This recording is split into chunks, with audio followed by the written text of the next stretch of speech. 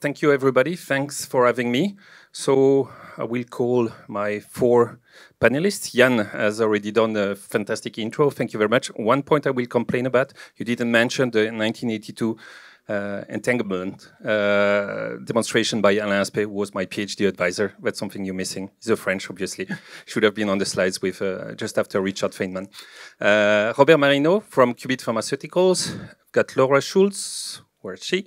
From LRZ and Philipp, Philipp, yeah, here too, uh, from McKinsey. Thank you very much. Alexander could not make it today, uh, but uh, I think we'll cover some of the points that he wanted to make. I just will start shamelessly making an introduction about myself and the way we will uh, work here is that each of the panelists, except Jan, who had already half an hour uh, to talk about himself, will make a short intro about themselves and uh, what they're doing in, in the quantum ecosystem.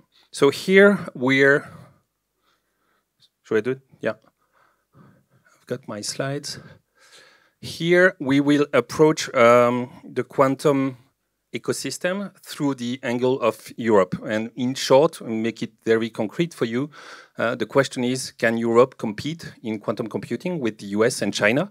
And also maybe, can Europe be back at the table of the leaders in digital technologies thanks to quantum? Uh, I think it's a good topic, uh, pretty hot, obviously, and we'll see uh, what uh, what our distinguished panelists are thinking about that. And the other thing I'd like to bring also is when will quantum computing really have an impact on your lives? Uh, are there any applications that we will see within the next couple of years? Which ones? Uh, I think that's everybody. That's something everybody wants to see as well. Okay. Now trying again. yeah, I have to go to the corner. Really? Which way? It works, but the slides are only on the. They are not displayed. Yeah. You know it works. It works where? Here? ah, okay. But it's not on the screen. Okay. Well, just again, starting by myself, I'm a physicist by training. I did my PhD. Uh, yeah, Jan was born already, actually, uh, when I did mine, but it was much earlier than him in neutral atoms technology. At the time, nobody was thinking really seriously about applications of his technology. It was just basic science just quote unquote. I think, of course, it was important, but we are not talking really that much about application of, quantum computing. And things have changed. I think maybe you don't realize that, but I think it was good to see in uh, Jan's slides, uh, things have changed pretty drastically. And the first thing uh, I want to mention is what I'm doing now. Uh, so I've not done much physics over the last years, but uh, since 2018, I've uh, started a fund investment vehicle called Quantonation, we're investors in quantum technologies. We're the largest investor in the world, actually, in quantum technologies by number of lines of participations in, in startups in this space. And we had just announced a couple of days ago the closing of our fund 91 million. Uh, early stage fund, uh, we do only what's called Series A, seed, pre-seed, or the other direction, pre-seed to Series A. So the start of the life of startups in this space.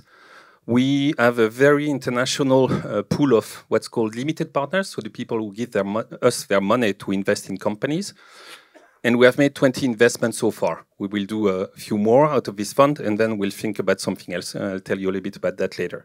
And something I like to show is that so Jan told you already, his company created 180 jobs or 180 employees there. Uh, I think with our portfolio we have, and I've not invested in Jan's company, although we have met a couple of years ago, very early actually. Uh, but uh, our portfolio has created more than 300 jobs over the last years. And I think that's fantastic that young physicists in particular, they have choice now to move to a company where they can directly use their skills uh, working on quantum technologies. Uh, now about the market and what I'm doing. Uh, this is, an, I think, an important slide. It shows you how much venture capital has put into quantum uh, over the years. Uh, we started in 2018, so we catch the wave really when it started. Uh, I think it was definitely a right timing. As you see, last year has been pretty uh, record year with um, 2 billion invested into the space. we'll not go into the details of SPACs and stuff like that, but yeah, 2 billion, that's a sizable number. Uh, most of it for uh, quantum computing, as you see. And this year will be a record year again. I'm pretty sure we'll be past 2 billion. But, yeah. No. But this is still a small number. People ask me all the time, overeating, are we not doing too much? But we're not doing too much at all. 2 billion is very small for venture capital. If you look at this publication, that's about AI and machine learning. More than 100 billion has been invested in machine learning last year. Talk about 2 billion for quantum, still relatively small sector. If anything, we need more money. Uh, that's really the point here. And yep, next one is also pretty important for this panel. It shows the, uh, the, the split between Europe and North America. So essentially, most of the money is going to North America at this stage. Um, yeah, the 128 million, 38, 28. 28 million will make a difference uh, to it uh, to it in 2022, but still most of the money is going to uh, the US essentially and Canada. Um, I think one of the reasons, uh, personally, and that's something we can discuss later with the panelists, is that most of these companies have been created fairly recently. So 2018, 2019, when you look at this curve, that shows the year uh, startups in uh, quantum computing, quantum technologies have been created. Uh, as Jan showed you, 18, 19 important years. So the big rounds are coming. Like it's a good example for today, but I expect there will be bigger rounds in Europe and that will add to the statistics. So there's an effect of the yeah relatively young age of the industry. And when you look at the numbers on how many companies have been created in Europe, I mean, if you sum all the companies in Europe, I think it's higher than in the US actually, and in China for sure. So it's just startups and SMEs. One trick is that you include enabling technologies, and you see that Europe is strong in that. Not so much in, in the integrated quantum computing. I think that's a that's a topic for discussion as well. But still, in absolute numbers, it's not that bad. But it's going down. It's not very good. We need more companies to be created. We need a smoother curve, growing curve. And that's the reason why at uh, so we're working now on two funds, two initiatives. One on the left, which is a new fund called Quantum Opportunity Fund, which is dedicated to the scale-ups, so Series B and beyond, how to fund uh, companies once they have gone through the first years and they need hundreds of millions uh, of euros to, to grow and scale. And the second one is to feed in the pipeline of new companies. So it's a venture studio concept that we will be working on starting in September. So we are approaching the two problems that I see, more money for scale-ups and more companies at the beginning as well. And to finish, uh, give some tonality to our discussions, uh, I just copied this from uh, Sifted. It's a publication uh, from uh, BCG. I was a little bit angry about it, to be honest, because I think that's a little bit a symptom of the what I call the Calimero syndrome. Uh, we're complaining all the time about what's going wrong. Actually, many things are going well in quantum in Europe. And really, the idea about this panel is, I think, to show you that it's a dynamic ecosystem and there's definitely a possibility for Europe to be among the leaders. Thank you. And now I will start with my first question for Jan, actually. Uh, no, at each stage, asking a question and giving you the opportunity to present each other. Okay? Uh, so telling me, first the question is about funding, maybe. Um, so you said, and that's a coincidence, I didn't know you would announce it today. I, I knew it was in the making, so that's why I, wanted to, to ask the question. But do you think uh, being a European company has been a disadvantage for you over the years? Would have would you have done things differently? Uh, could you have done it faster? Uh, how do you consider yourselves with respect to competitors? Well, of course, it's always hard to say how it would have happened if it was outside of Europe, right? But I think what we see in Europe is a change of mindset. So I, I think people understand the problem and there is a will to change it. Um, of course, you cannot really change, let's say, the structure of European funds overnight and just say, okay, we make huge funds now and they can enable these funding rounds. This is, if you just look at the numbers of investors we have, we have quite a lot of them, uh, right? Because they do their their ticket, whatever they they can invest, and of course, maybe this creates a little overhead in managing them. But then I think um, we also have a lot of opportunities um, in in Europe because I think there is and there is an emerging and clearer and clearer strategy um, that uh, we say, okay, we don't have big corporations really building the, the systems, so all the hope is on the startups. So what can we do to make sure that at least some of the startups scale and become significant players? And if you look at the plan, what has been done over the years, so for example, 2019, um, it was already um, the flagship, the quantum flagship ongoing with 1 billion euros funding, and now it will be continued. And the way people see it, there's from the flagship, actually, startups should be created. So take out the um, technology, and I think this is happening. If you look at the number of, of startups and where they're coming from, I think many of them come from labs which have been in the in the flagship. And then the idea is actually okay, help these startups grow through public procurement. And I think this is something we have done far too less in the past and maybe have done much better in the US. But if you now look at what is happening right now, actually, from the Euro HPC joint undertaking, there's an, and Laura can say much more about this, there's a call open to equip certain European um, computing centers with, with quantum computers. So I think the willingness is there, the instruments are getting there. Also, if you look at the European Chips Act, quantum is uh, specifically mentioned there. Of course, now it's up to us to make something out of it. But I think we have at least especially for IQM, we have received so much support, so I cannot really complain. Okay, thank you. okay, we'll switch now to, to Robert. Um, so if you can share his presentation. I think I'm not sure it's the best way to do, but uh, yeah. So just a few minutes about who, what the company uh, is doing, about yourself, and then I have uh, a question for you. Thanks, Christophe. Um, hello, everybody. I'm Robert. I'm the CEO of Qubit Pharmaceuticals. Qubit Pharmaceuticals is a drug discovery company.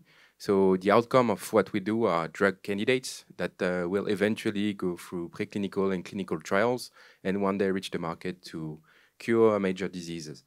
The way we do it is by using simulation and computation. So um, we do very little real experiment, but we compute everything. We have our internal uh, computational workflow so that we are able to reduce massively the number of experiment, the cost, the delays uh, before uh, reaching preclinical phases.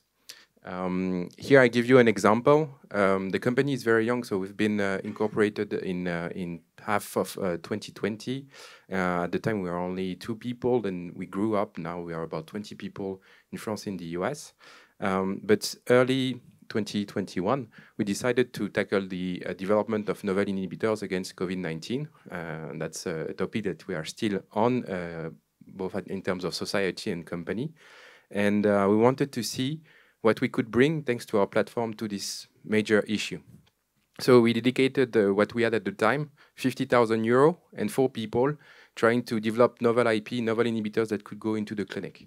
And um, thanks to the use of our algorithms, computing power, that we, we got support from the French National Supercomputing Facility, the GENCI, uh, we were able to go very quickly into the discovery of two novel chemical families, um, mixing simulation, AI, medicinal chemistry into our software. Um, that's usually for pharma that takes a couple of years and costs a couple of hundreds of million euros. So thanks to novel uh, algorithm, novel simulation tool, we're able to go very fast and bring something novel that can that is now continuing its development and, and hopefully soon going to clinical phases. Um, now the point is we're at the quantum panel. So what's the what's the link between what we do and, and quantum computing?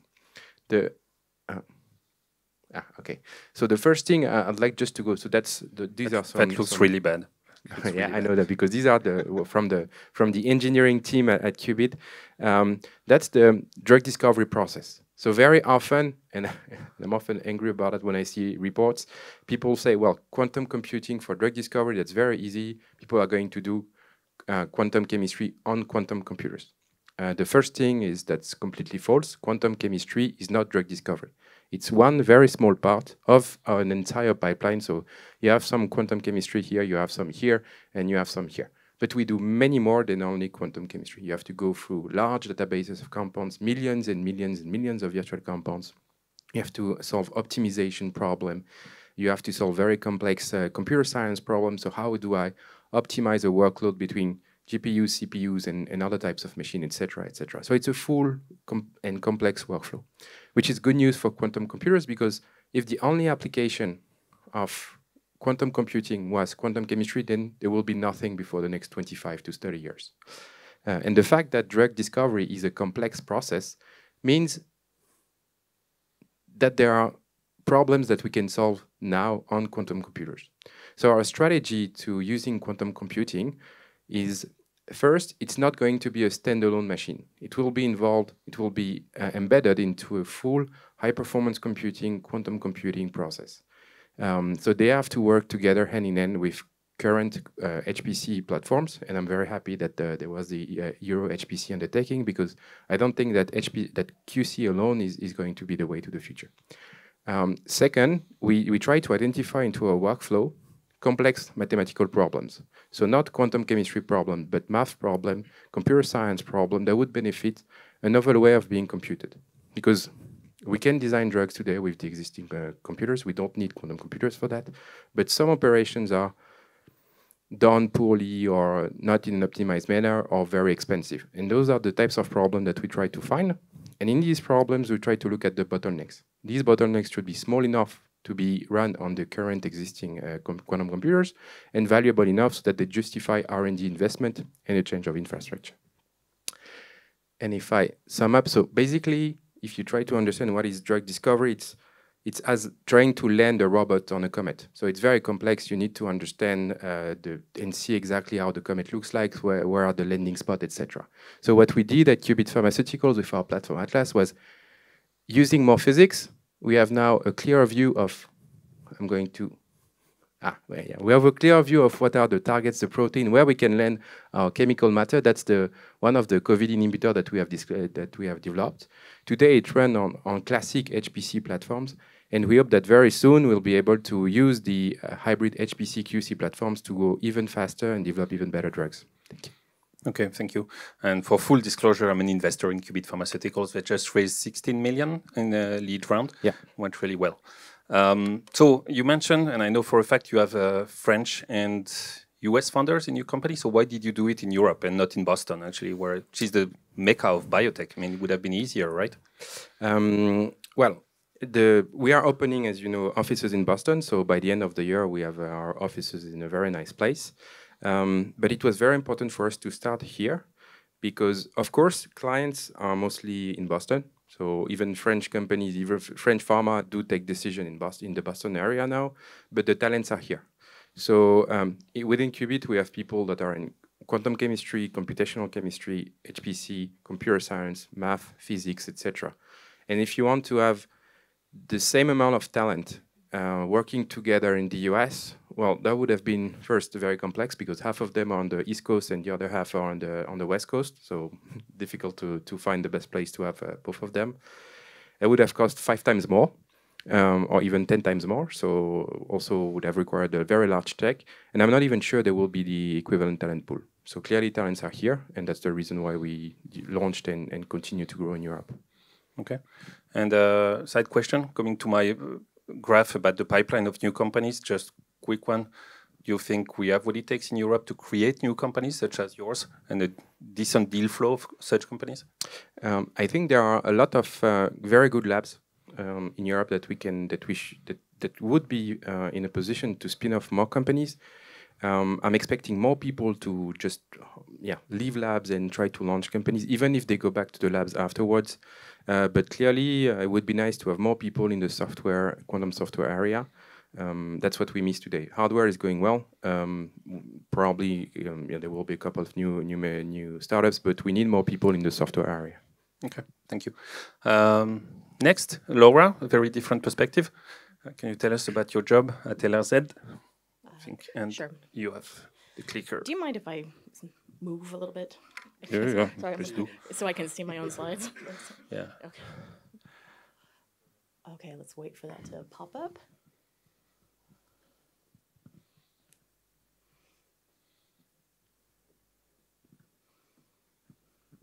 Okay, here we go. So hello everyone, my name is Laura Schulz. I am head of strategic development and partnerships at Leibniz Supercomputing Center. I am also the head of the quantum computing and technologies department. So I thought for my five minutes I would give you a really quick little tour of LRZ to kind of show you what we're doing and how it makes impact to this panel and the discussion that we're having today. So this is the Leibniz Supercomputing Center here on the front. There's some long buildings here. Those are offices and visualization spaces, but what I'd like to draw your attention to here is on the left-hand side, this double cube environment. So this is our compute cube, our double compute cube, five floors. Uh, maybe. Here we go. On the fourth floor of our compute center is our big, large scale HPC computers. This is taken a few years ago when it was fully stocked and fully filled. And what I want to direct your attention to is the back part of the picture where the lines are running horizontal. that was part of our SuperMUC, our original SuperMUC procurement. That was about 3.4 petaflops, and it took the entire space of one of the cubes. Up front, in the green with the green cables, that is our current SuperMUC NG system. That has uh, 26.9 petaflops, and it takes a third of the space.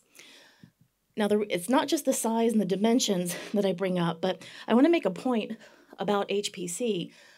With all respect to the quantum community, uh, this it is a, quantum is an absolute killer technology, and this is really going to transform how we compute.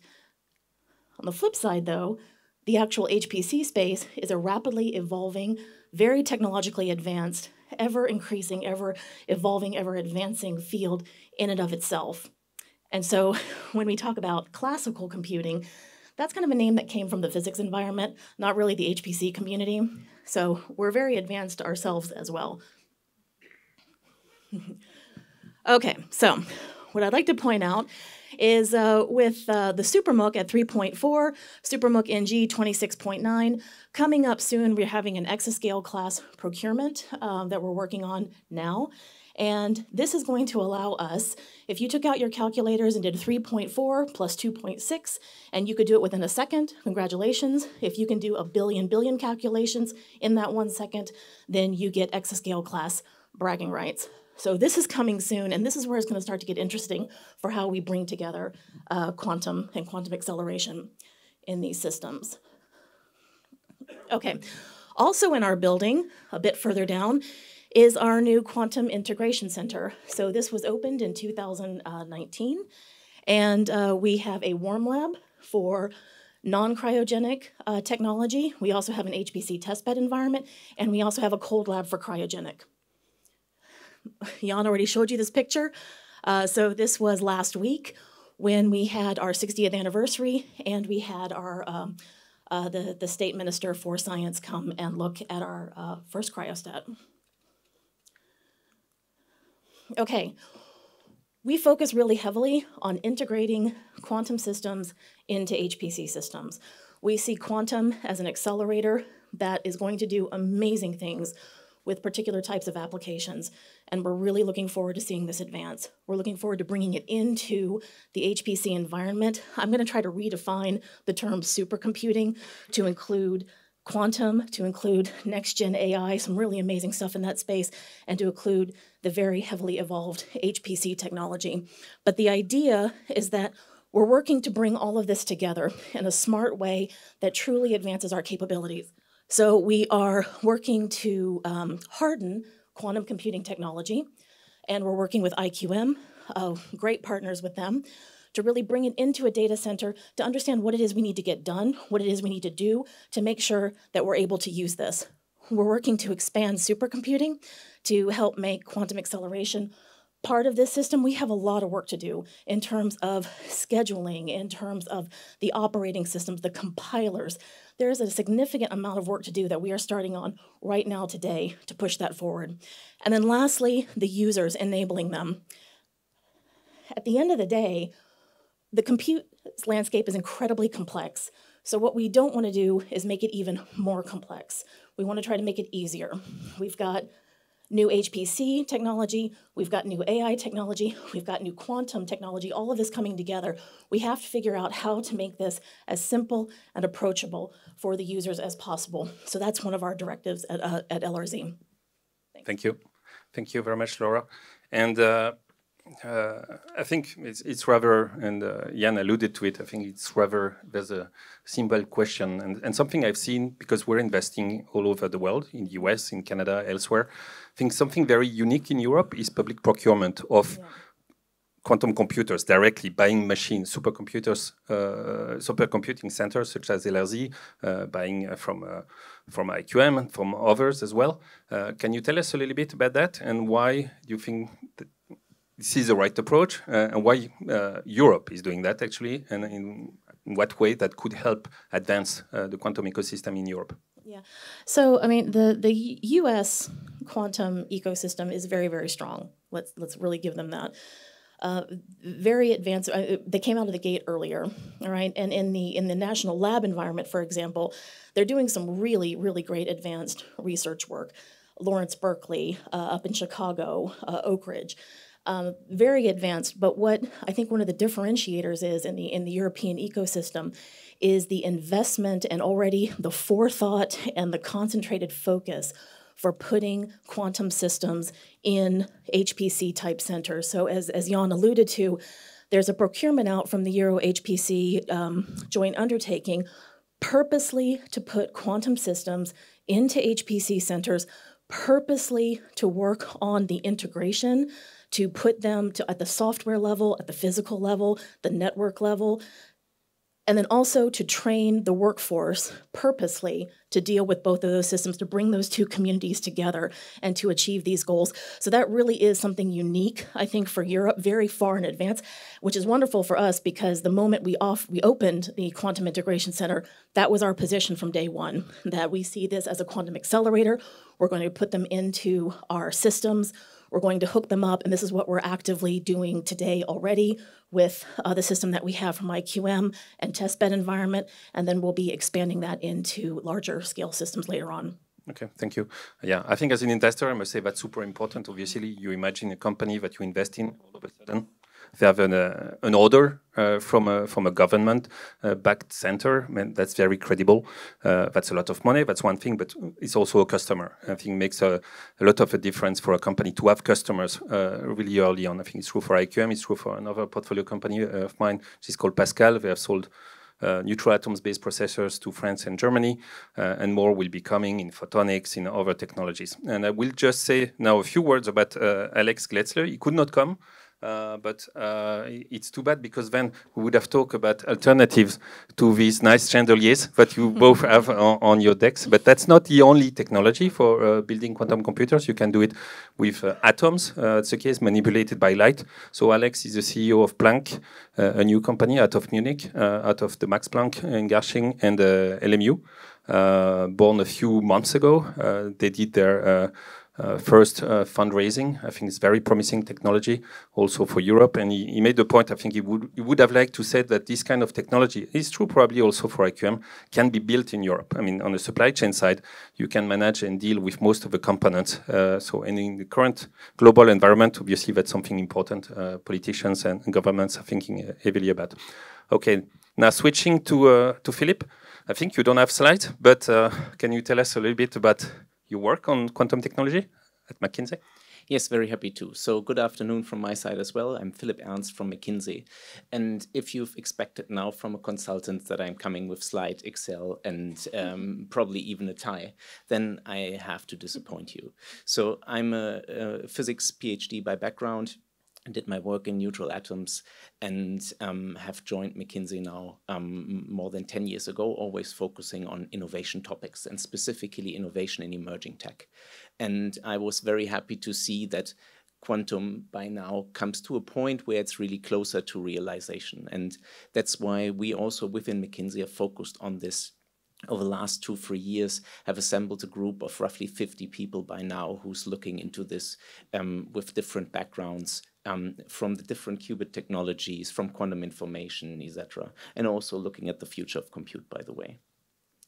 And um, I personally am very much um, focused on applications, and this is also what um, what's really inspiring me about um, about the technology.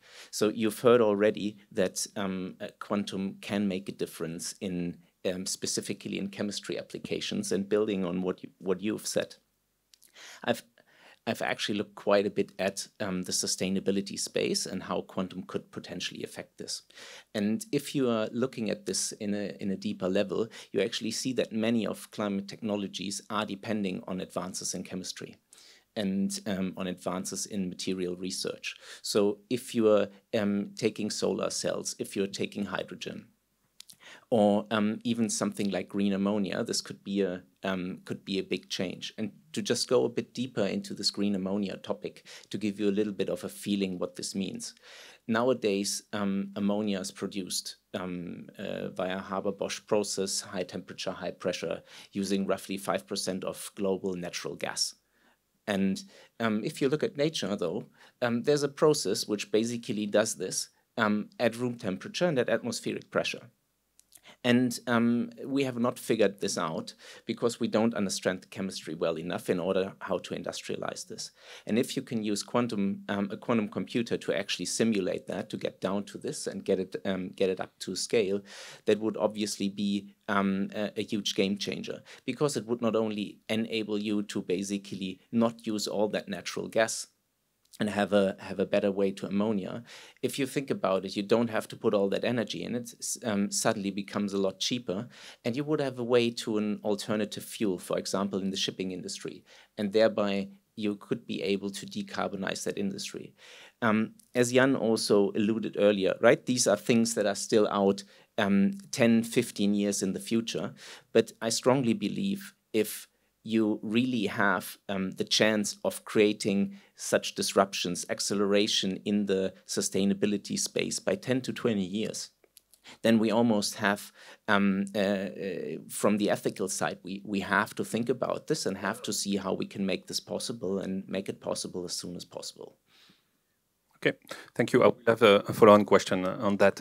Um, but one question for you. So it's often heard, uh, and I've seen that in reports in particular, that maybe quantum computing is the opportunity for Europe to be back uh, among, well, to create leaders in uh, digital technology, especially in hardware. We, it's rather clear we lost the CPU battle, the GPU battle. Uh, so will we win, or is there an opportunity to build a global leader out of Europe who could really be uh, uh, among the top guys in the world? so I do believe this is an important opportunity, given uh, what I've just said before, and I think you've also heard um, uh, Laura and my fellow panelists talking about um, the the challenges also of integration, solving this, how to how to actually do this. So number one, having quantum hardware here giving us certain strategic autonomy. Number two, building the right kind of integration, right, which uh, will really require um, a significant intelligence to do this in an in an optimal way. Um, I do believe is a very important point for Europe uh, because also of all the applications down the line, all of the value it will create uh, um, along the different sectors. For example, pharmaceuticals, right? Um, that you really need to sort this out and I turn it around, I think based on what we've seen in CPUs and GPUs, I don't think we want to be as Europe on the same side of that coin again. Okay, thank you very much. Um, I think actually will change a little bit the plans and give uh, the opportunity to the to the public to ask questions. I think we can do that with microphones. I hope. Um, but maybe just one last question for you all. Uh, so uh, yeah, it's crystal ball a little bit, uh, I know, but horizon for application. So we hear 10 years, 15 years, solving grand challenges uh, for better humanity in a way. And I think that's noble and that's fine. But as an investor, I'd like things to happen a little bit faster as well, uh, see some value from the investment, from the companies I'm investing in. Do you think there is a chance, an opportunity to have even incremental uh, advantages within, let's say, two, three years with the machines that you're developing or you're working on, uh, or the people, the customers you're talking to, and uh, just very quickly for each of you, maybe uh, a few words about what you think is missing in order for that to happen, if it is to happen indeed. I think that's a very good question, and as you said, a bit crystal ball. But um, personally, what I've seen is um, and we have to go a bit into the technology here, that uh, um, around NISQ applications so far, um, uh, there haven't been any um, uh, any proof points yet that you can really do something useful. So um, the real um, step change will be towards, uh, and when it's becoming truly disruptive, will probably be when it's become error corrected, so fault tolerant quantum computers. And um, if you if you look at the roadmaps out there, um, this can be as fast as five years. Um, uh, but um, I do believe it's probably happening within the next ten at least. Mm-hmm. Okay. This is a little bit of a hard question for me to answer from uh, an HPC data perspective, um, but I already see the benefits. I already see we we just put in our first cryostat, and we already have knowledge gain. We already have some discovery gain. We already have, uh, we're already thinking about theoretical constructs that we didn't actually even think about a year ago. So, in terms of the amount of, of knowledge acquisition that we're already building, um, that is just going to continue to in, in, improve. And um, I guess the other thing is, I, am not so down on, on NISQ. That's where we are right now. And there are several benefits to learn from this. There are applications that we can account for the noise that we can utilize that. You know, I think of things of like uncertainty quantification where there's a statistical washout anyway. There are capability, there are areas, there's a, there is a great deal of potential. I'm not an investor, and so I don't know where the mark is for what's considered success or not. But from our perspective, with uh, compute centers and the work that we're doing, we're already making headway, and we already have a clearer perspective of where we're going, and we're already asking better questions. Yeah, maybe also challenge a little bit this um, error correction um, hypothesis that it needs to be there. Um, yeah, I agree with you on that, and I compliment. So you can you can go first. Um, of course, I agree that with error correction, a lot of things probably will be um, open up and, and happening.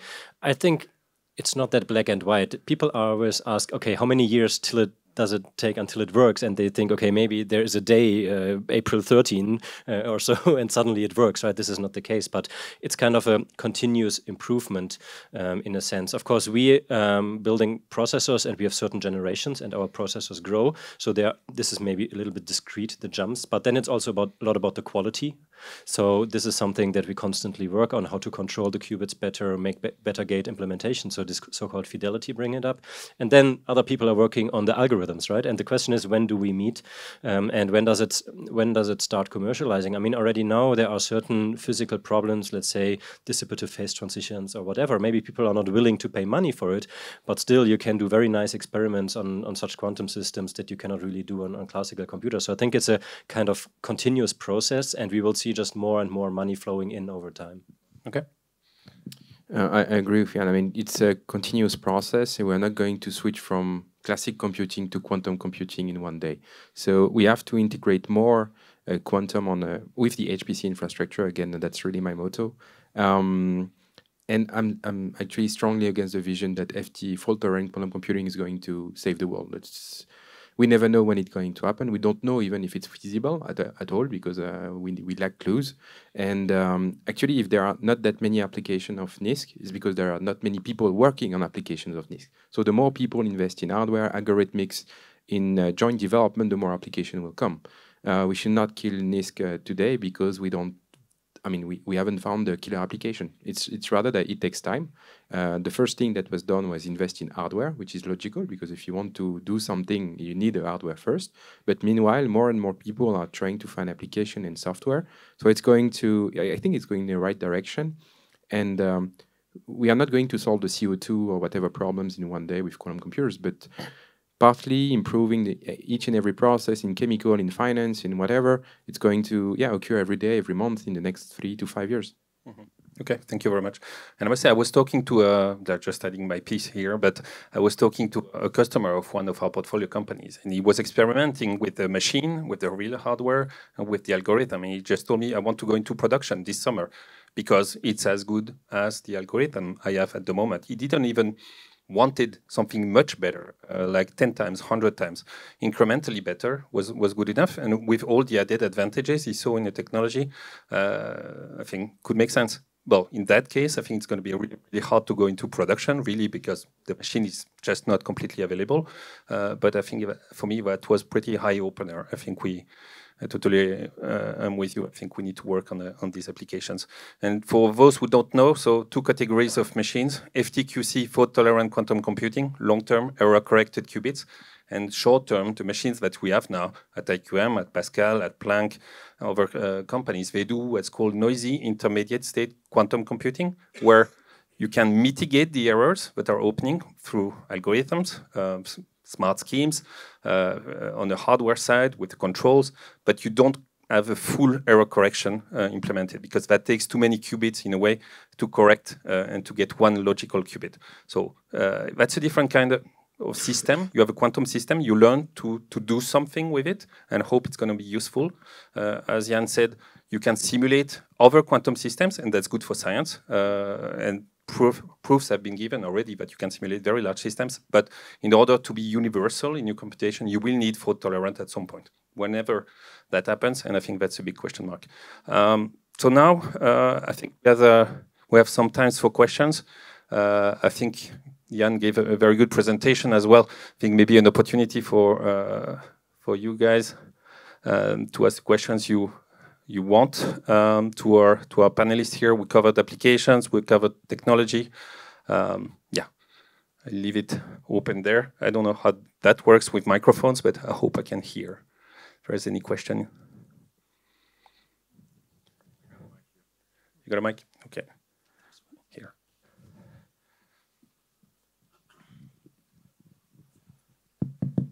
Hi there. Hi, Christoph. Hi, everyone. Um, thank you for this fantastic panel. Um, I dare to ask two questions just because I saw that no one else was raising a hand. I know everyone hates more than one question, but the first one should be a rather straightforward number. Okay, can you introduce yourself, I think? And yes, before the two questions, maybe a short disclaimer to myself. Um, two disclaimers. The first one is that I've been working with the European Quantum Flagship, so Europe's uh, billion euro bet since 2016, since its launch on its strategy. And the other disclaimer, I also work with a number of German and other national programs on, on their strategy in the quantum technology space. And uh, the question, the first one connects to this. That should be the easy one, the number, if you can say anything. Uh, you talked a lot about VCs and startups, you talked about public funding, but of course, there's a third major pillar the companies that are heavily invested in this space, such as IBM, Google, Amazon from the US, of course, there's Huawei and Tencent and others from China how this compares because I think your benchmark, Christoph, was amazing with this uh, AI versus quantum. That it's almost like a hundredfold uh, investment in that space. Do you have any ballpark numbers uh, on the research, re, uh, research and uh, development budgets of these major companies? How that compares to the field? That's the first question. And the second, um, a lot of assumptions in this field build on this notion of a rather open world. And over the past years, um, of course, with the war, with the pandemic, a lot of talk about sovereignty in Europe and elsewhere. How do you think it would influence your growth perspectives as a startup, as well as your valuations, if from tomorrow onwards you could only sell and produce here in Europe? Yeah, I think for a second question, maybe we start with Jan. I think it's a good one for you. I think. With the second. Yeah question. Well, the first if you want as well, but I, I don't, I don't have any numbers for the first question that I could um, that I could say. I don't know if I understood the um, the second question actually correctly. So, is it what we can do in Europe to grow further in the future? No, no. I think it's more if uh, there were strict uh, yeah, if sovereignty was to put some bounds on what you're kind of allowed to do, restric uh, restrictions to export, for example, to some countries, uh, would that have an impact on your valuation, on your growth perspectives, on the way uh, the company could become a global leader? That's it. Mm. Okay, I got it. Um, uh, well, I think that's an interesting topic. I mean, there is at the moment no strict regulation uh, for quantum computers. It is being discussed in the background, and there are some forces that want to pull quantum computers onto certain lists um, to, to regulate it. Um, my personal opinion is that it's too early um, because I mean this is then about dual use and other things, and I think it still needs quite a lot of systems to make any dual use happening. Um, but of course, for us as a um, as a startup which has a business model to sell systems at the moment, it is important to reach a certain market, right? And okay, you can start with with Europe, but then we are of course also thinking beyond Europe. Um, and I think it is very important um, that we are able also to sell outside of Europe. I'm not sure if, if uh, everyone would buy from us. This is a different question. Um, but it is also so that when I talk with the policymakers, um, except when you're now maybe talking about very specific countries, actually they would allow us to sell, um, which is which is good. And I think it, it, would be great to see such kind of deals happening um, in the future because yes, in some aspect, valuation of a company is also related to the market that this company can reach. So I think if we put too hard boundaries there, we will somehow yeah limit um, the development of, of certain companies. Yeah, and I think to add to that, so for maybe for those who are not really into valuations and fundraising, etc., but essentially, if a company like IQM or Pasqal offers wants they want to raise hundreds of millions, which they will need to go to commercialization at, uh, and scale up. Uh, I mean, they need to convince the market that the valuation uh, is high enough that uh, they can raise this kind of money. If there are limitations and they cannot compete, I think definitely that would be a challenge for them uh, to raise as much money as competitors from the US and from elsewhere don't have the same restrictions.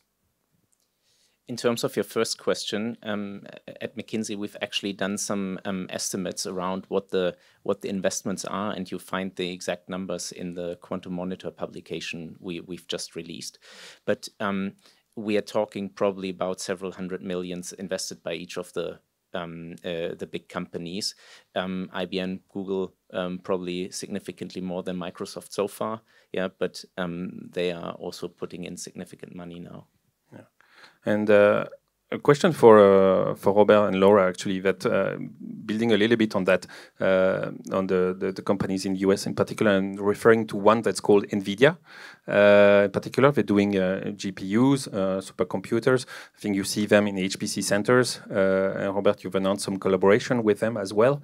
How do you see collaboration work uh, going on between you and these companies, between quantum computing, European companies, uh, and these large multinationals?